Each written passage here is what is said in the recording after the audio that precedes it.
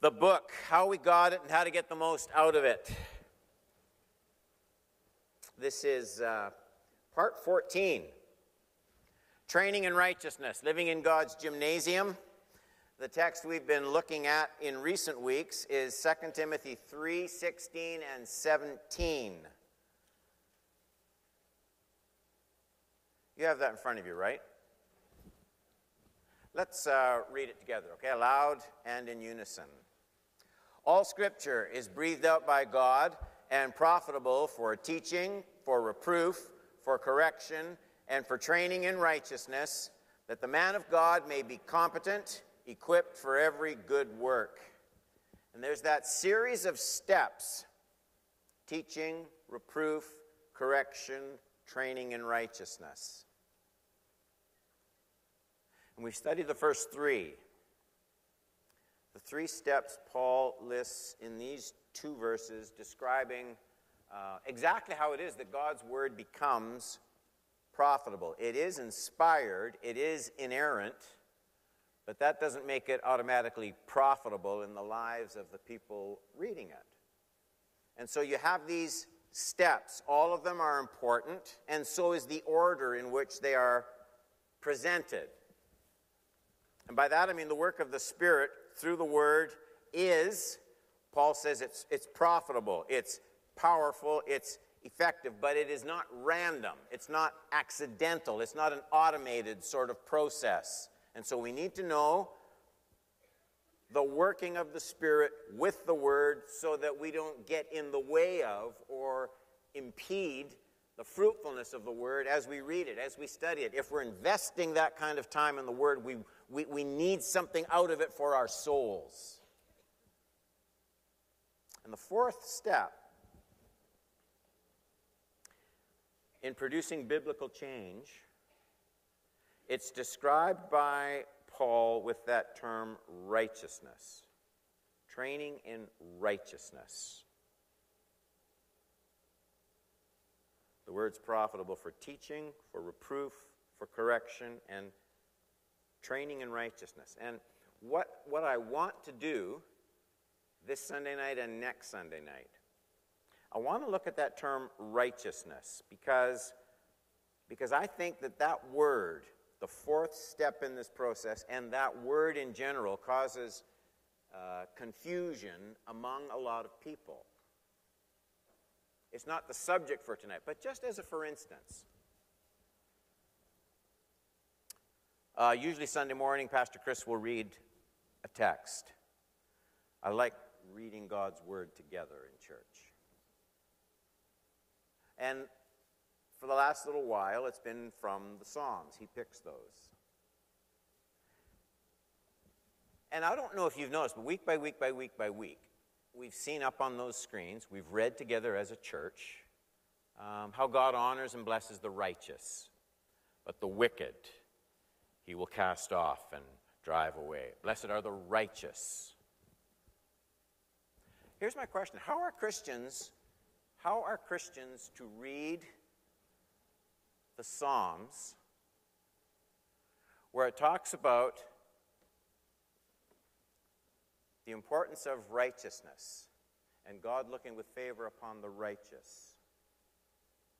Talking about works of righteousness turning from wickedness and doing righteousness. So here's my question Do we qualify for the righteous when we read those? Anybody got a problem here? Yeah. So are we just pounding ourselves in the ground as we read this about how important it is to be righteous and God loving the righteous and favoring the righteous and blessing the righteous, and we all know we're a bunch of sinners. That term, righteous, righteousness. How shall we apply it to our lives?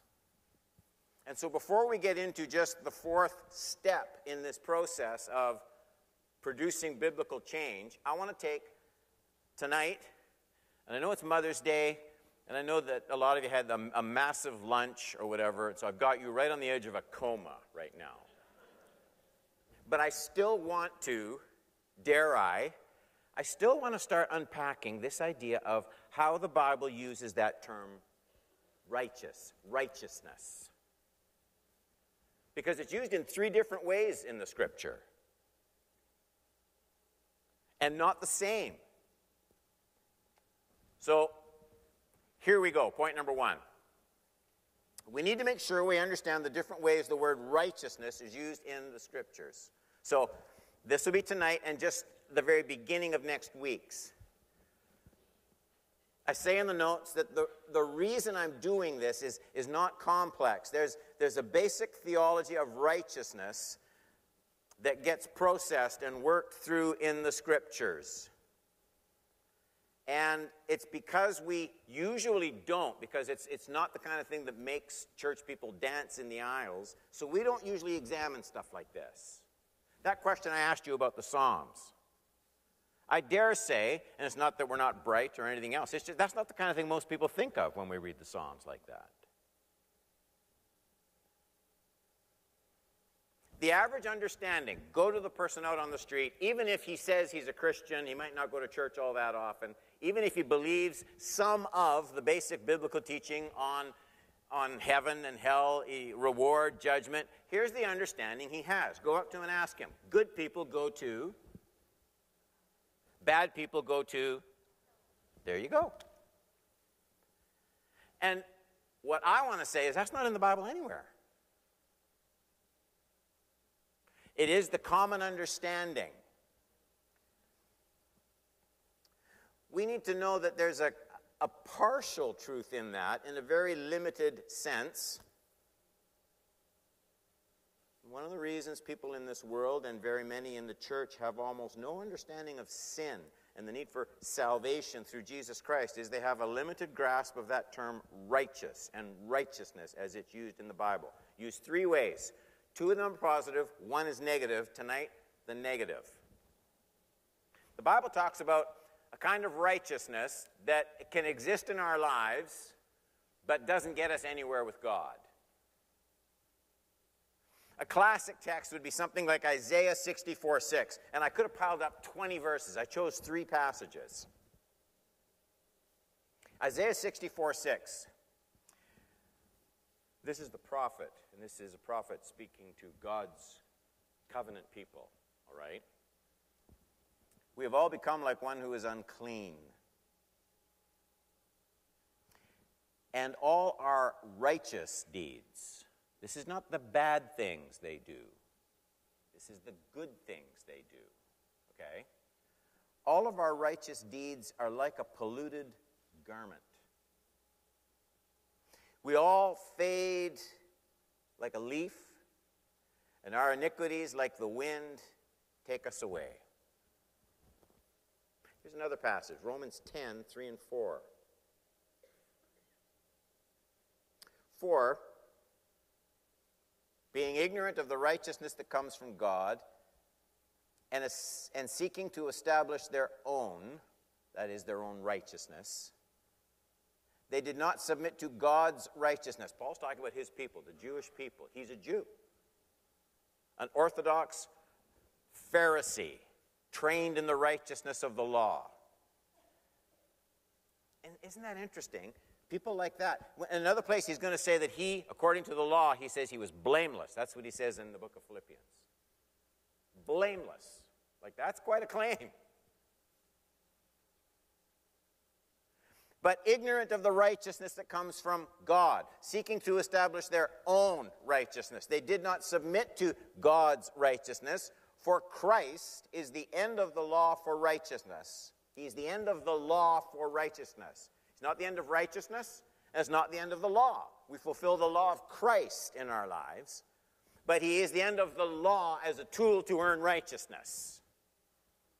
That all comes to a close with Jesus Christ. Okay, one more Matthew 23. Jesus talking to the religious people, the ones who keep more religious regulations than anyone else. So you also outwardly appear righteous to others, but within you're full of hypocrisy and lawlessness. Woe to you, scribes and Pharisees, hypocrites! You build the tombs of the prophets and decorate the monuments of the righteous, saying, If we had lived in the days of our fathers, we would not have taken part with them in the shedding, in shedding the blood of the prophets. And thus you witness against yourselves that you are sons of those who murdered the prophets. Fill up then the measure of your fathers, you serpents, you brood of vipers. How do you picture Jesus talking to people sometimes? Do you picture Jesus walking up to a bunch of, you bunch of snakes, he says.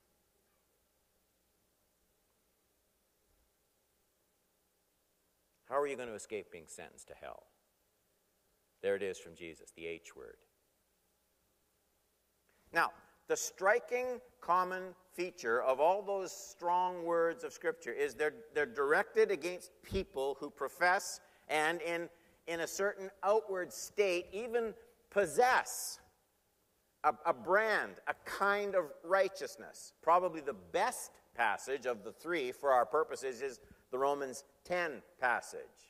And, and Paul defines the kind of righteousness that is almost universally admired by the man on the street because it can make it can make law enforcement easier, it can make politics simpler, it can make life in society safer. No question.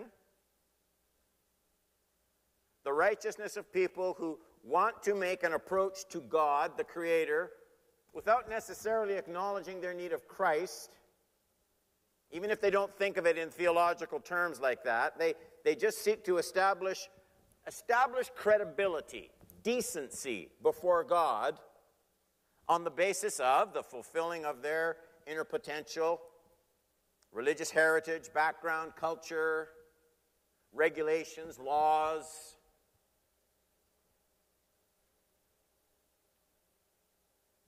Look at that Romans 10 3 and 4 for being ignorant of the righteousness that comes from God. And the important word would be comes from, not, not given to, but comes from. Not the kind you present to God through your efforts, but the kind that comes from God. And seeking to establish their own. They didn't submit to God's righteousness. For Christ is the end of the law for righteousness to everyone who believes. So, those are the two trademarks of the religion of the average man. He ignores Jesus Christ and he seeks to establish his own standard for pleasing God. Credibility before God, decency, uprightness before God. So he, he creates he creates a God, not the God of the New Testament, not the God of the unfolding revelation of the new, the promise of the Messiah, the coming of Jesus Christ, not that God.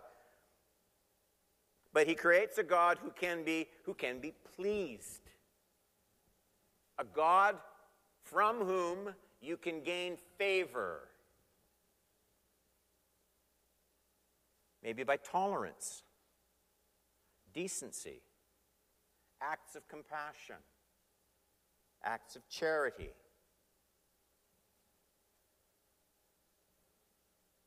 Please don't think those words that I read from Romans 10 are just, you know, the kind of thing that theologians sit and think about. They encapsulate something very common in today's church. I've, I've heard it said talking with people in this church. People who don't worry if they ever darken the door for worship, they love Jesus. They, they want to please God. People who couldn't list the books of the Bible, never take the time to seek God, maybe they're sexually immoral. You talk to them and they'll tell you how much they love God. They've, they've established their own pattern for pleasing God. They've set up their own standard, their own definition of love for Christ, and they think they think if they say it enough and believe it enough sincerely in their heart that they will create they will create some kind of a way of pleasing God apart from devotion to and submission to Jesus Christ. And, and they never will, and it'll never work.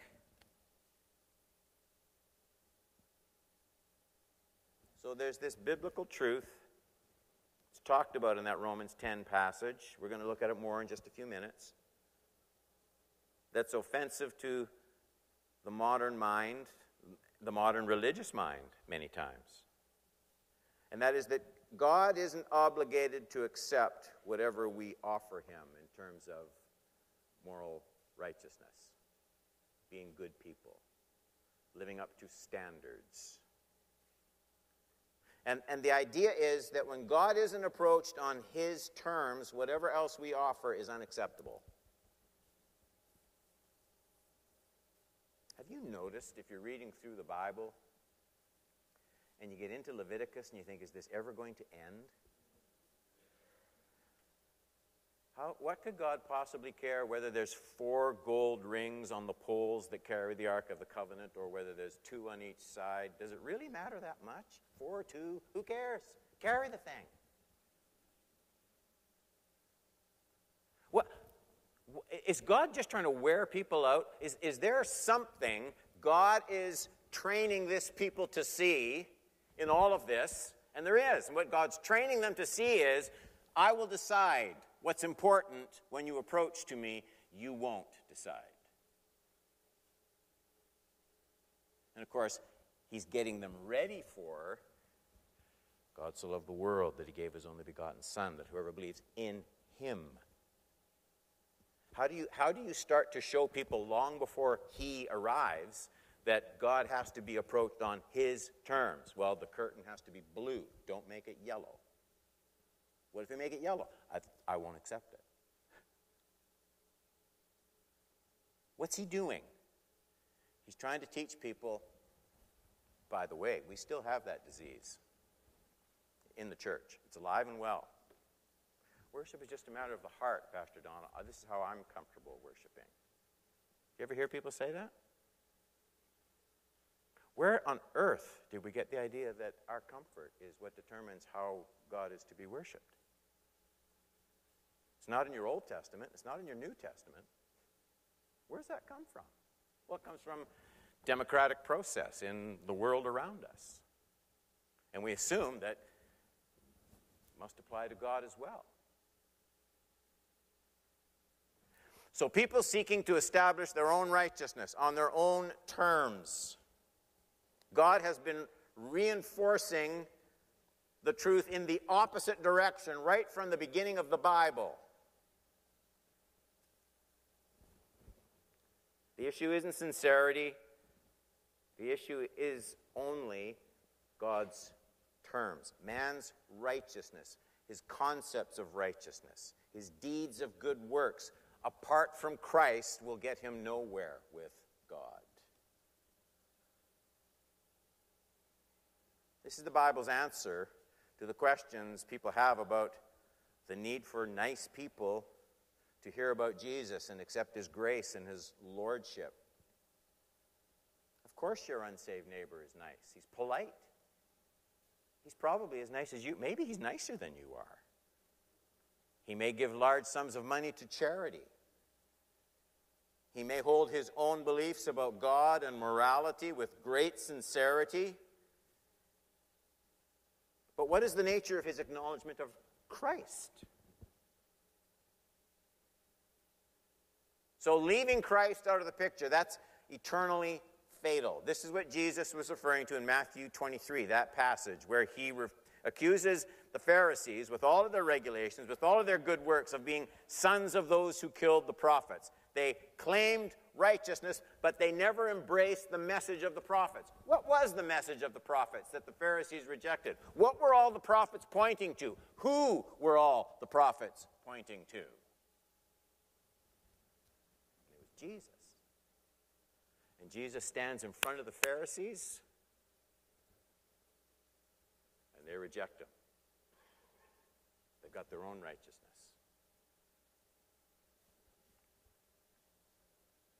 I mentioned Paul talking about this in his own conversion story. You can read it in Philippians 3. There's five verses, 2 to 7. Really pretty blunt words from Paul. Again, like Jesus, Jesus was with snakes, and Paul's talking about dogs. Look out for the dogs. Look out for the evildoers. Look out for those who mutilate the flesh. You know what he's talking about. People that just rely on circumcision. I've got, I've got my religion. Very devout.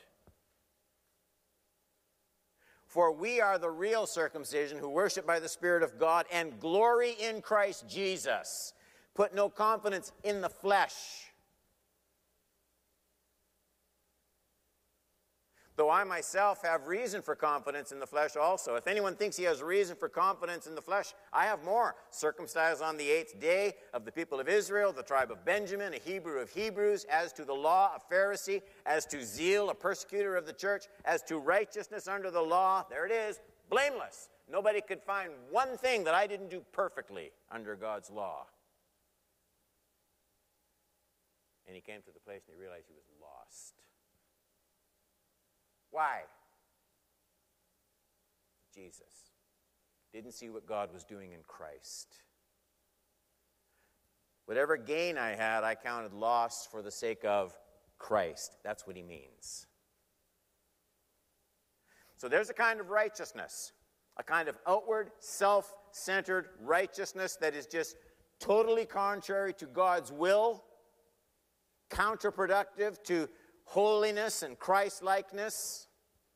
Those dogs Paul talks about are the religious people piously working their way around the plain and simple reliance on Jesus Christ.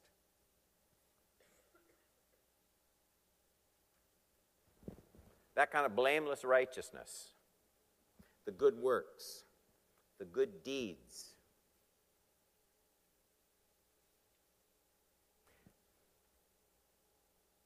Is it important for me to do good deeds?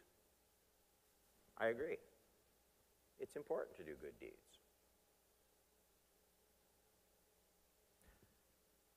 Good deeds that aren't fixed on and growing out of a relationship with Jesus Christ. Good deeds are as filthy rags before God. There's the rub. There's a kind of righteousness detached from Christ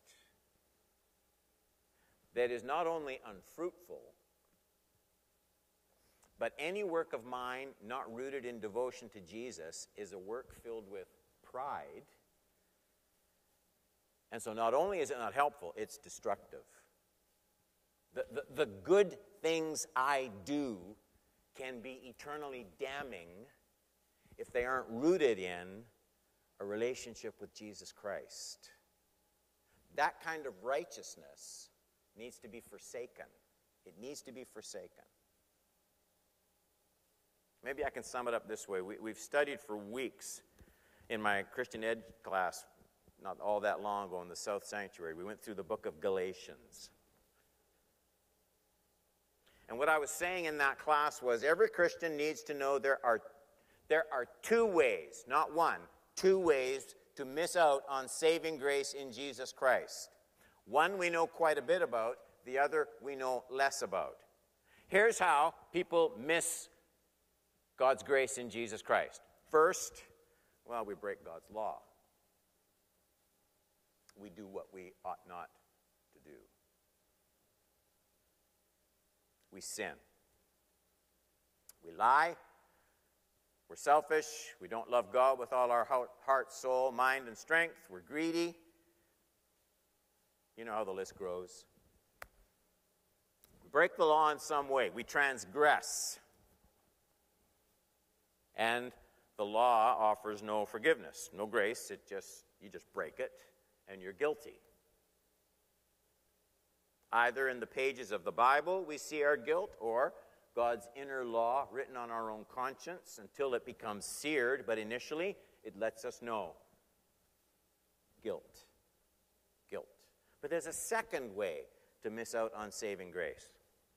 And you can do it without ever being visibly immoral. It has to do with where you place your trust for acceptance with God. And now you start looking at the world's religions, you start looking at morally good people who are all over the place and why they need a redeemer. It has to do with, with the way we place our trust for acceptance with God by assembling, lining up the good deeds of my life, Oprah like stuff. devotion to humanitarian efforts, kindness to the needy, the poor, your passion for keeping the outward ceremonies and rituals of some religion in the world. Whatever it is, you can perform these things vigorously. You can, you can perform these things sincerely, and you can perform them spotlessly. And you can actually rely on the assembling of these things to create your ladder to heaven. And to the extent that anyone fails to turn to God's redemption in Christ, here's what happens with all of those good deeds, all of those good works, the avoidance of things that are bad and immoral, God's wrath remains on that person. John 3:36 Whoever believes in the Son has eternal life. Whoever does not obey the Son shall not see life. But the wrath of God remains on him. Did you notice what happened in that verse? 336. Do you have that in your notes? Look at it really carefully. Whoever, the second word is believes, whoever believes in the Son has eternal life. Whoever does not, and you expect to see believe again, don't you? But you don't. And so, what John is doing is he's trying to show us what real belief looks like. Whoever believes in the Son has eternal life. Whoever does not obey the Son shall not see life, but but the wrath of God remains on him. This is one way the Bible talks about righteousness, never positively. There are two ways that it speaks about it positively. We're going to get to that. But when the Bible talks about training in righteousness, it's not talking about you cultivating the habits of being a nice person. It's not talking about that. That will destroy you. Let me tell you one quick story. We're a little bit ahead of schedule. I've shared this once before. So I'm speaking in a little town in Germany to a group of all of our denominational district leaders, uh, general superintendent, missionaries, Murray. There's this room, and there's maybe, I'll get this wrong, Rini will correct me. There's maybe 40 ish in this room. And that's, uh, I was asked to present on a specific subject.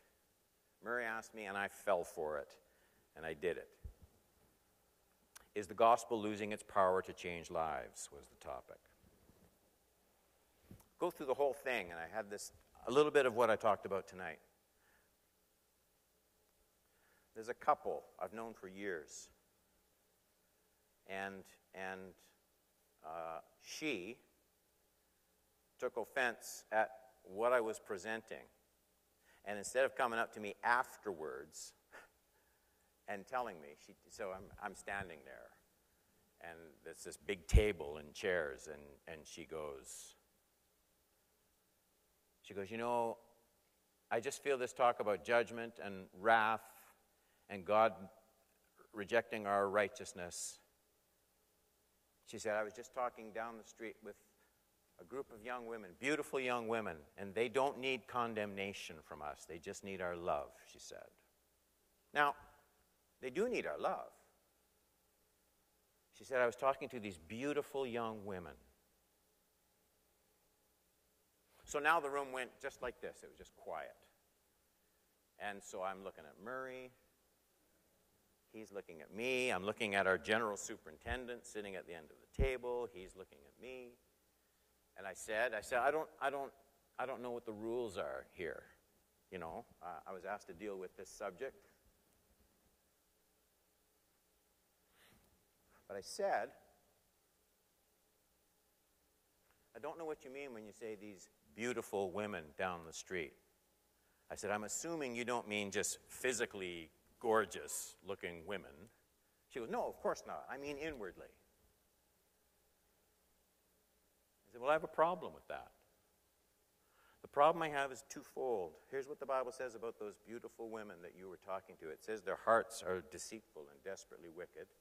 And it says that the wrath of God is on them every second of their lives until they get right with Jesus Christ. And the room stayed just like this. And then other questions came up and we talked. But here's, here's, here's what kind of rattled me. I thought two things. One, here's a, here's a, a couple uh, involved in ministry in, in very key, visible ways, missionary ways. And I'm thinking, why, why, why would you be doing what you're doing if you don't think people like those beautiful young ladies you were speaking to, that if you don't believe God's wrath is on them, why are we wasting all this money? Let's just go home. And the other thing that bugged me a bit was 38 other people who, who basically didn't say anything. This idea of righteousness There's the imputed righteousness of Christ we'll look at next week. There are deeds of good faith in Christ Jesus, the fruit of the Spirit, that we'll look at next week. But apart from that, when the Bible talks about my own acts of righteousness separated from Jesus Christ, they will get me nowhere. They make me more guilty before God, not less guilty, because in every good deed done apart from Christ, I am rejecting God's plan of salvation. I am exercising bad will toward my Creator. I am exercising unbelief in His assessment of what the need of my heart is. Does everybody see that?